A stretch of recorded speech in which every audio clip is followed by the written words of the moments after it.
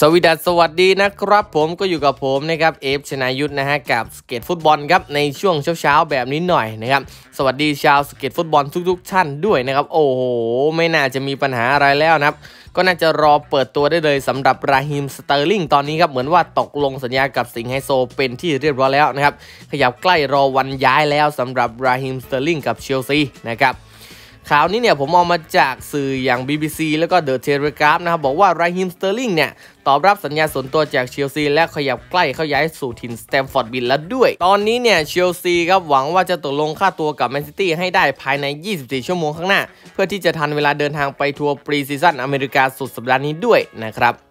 เชลซีเนี่ยพูดคุยกับสเตอร์ลิงและแมนซิตี้ตลอดช่วงเวลาที่ผ่านมา โดยคาดหมายว่าการย้ายตัวของเขาเนี่ยจะมีมูลค่าระดับเดียวกับที่อาร์เซนอลเนี่ยจ่าย 45 ล้านปอนด์เพื่อแลกกับการเซ็นกาเบรียลเชซุสนะครับเชลซีเนี่ยหวังว่าจะไม่มีอะไรผิดพลาดและได้เห็นสเตอร์ลิงเนี่ยขึ้นเครื่องไปทัวร์อเมริกาในวันเสาร์นี้ โดยพวกเขาเนี่ยมีคิวอุ่นเครื่องกับคลับอเมริกาชาร์ลอตเอฟซีแล้วก็อาร์เซนอลนะครับ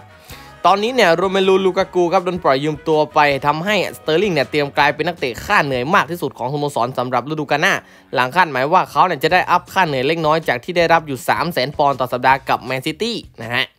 นักเตะของเชลซีที่ได้ค่าเหนื่อยสูงสุดมากเนี่ยรองลงมานะก็คือเอ็นโกโลกองเต้ซึ่งรับอยู่ 290,000 ปอนด์ต่อสัปดาห์นะฮะการย้ายตัวครั้งนี้ครับได้รับการผลักดันโดยความปรารถนาของสเตอร์ลิงเองที่อยากจะลงสนามแบบต่อเนื่อง หลังเขาเคยเป็นตัวหลักของเป๊ปกวาร์ดิโอล่าก่อนจะถูกจับนั่งสำรองบ้างลงบ้างครับตลอดช่วง 18 เดือนที่ผ่านมาด้วยนะฮะสเตอร์ลิงครับประทับใจกับแผนและความทะเยอทะยานของโทมัสทูเกิลในการพูดคุยที่เกิดขึ้น และรู้สึกว่าการย้ายไปเชลซีเนี่ยคือก้าวที่ดีที่สุดสำหรับช่วง peak ของเขาเองนะฮะยังได้รับความสนใจอีกนะครับจากหลายทีมอย่างเรอัลมาดริดรวมถึงสโมสรอื่นด้วย แต่ถูกโน้มน้าวด้วยความปรารถนาของเชลซีที่ต้องการตัวเขาเป็นอย่างยิ่งก็เลยเลือกมาที่จะเชลซี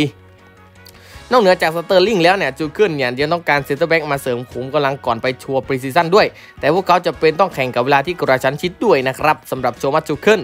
นอกจากนี้ครับข้อเสนอ 55 ล้านปอนด์พ่วง add-on ของพวกเขาเนี่ยก็ยังวางไว้ให้ราฟินยาพิจารณา แถมยังสนใจในไอเดียของการเซ็นสัญญาคริสเตียโนโรนัลโดมาจากแมนยูด้วยนะครับสำหรับเชลซีในตอนนี้โอ้โห เหมือนว่ากำลังจะปิดดีลกับราฮิมสเตอร์ลิงแล้วนะก็รอนับวันเปิดตัวได้เลย นับถอยหลังได้เลยนะสำหรับวันที่สเตอร์ลิงเนี่ยจะมาถิ่นสแตมฟอร์ดบริดจ์แล้วนะครับเขาอยากได้ตัวเนี่ยไปก่อน pre-season ด้วยสำหรับเชลซีเนี่ยได้ตัวสเตอร์ลิงหรือว่าหนูริงเนี่ยแหละครับโอ้โหทุกคนคิดอย่างนี้คอมเมนต์เข้ามาให้ผมหน่อยครับแต่ตอนนี้ราฮิมสเตอร์ลิงเนี่ยตกลงสัญญาส่วนตัวกับเชลซีเป็นที่เรียบร้อยแล้วนะครับก็รอได้เลยนะครับขอบคุณครับที่รับฟังครับในช่วงเช้าๆครับสวีดัสสวัสดีครับ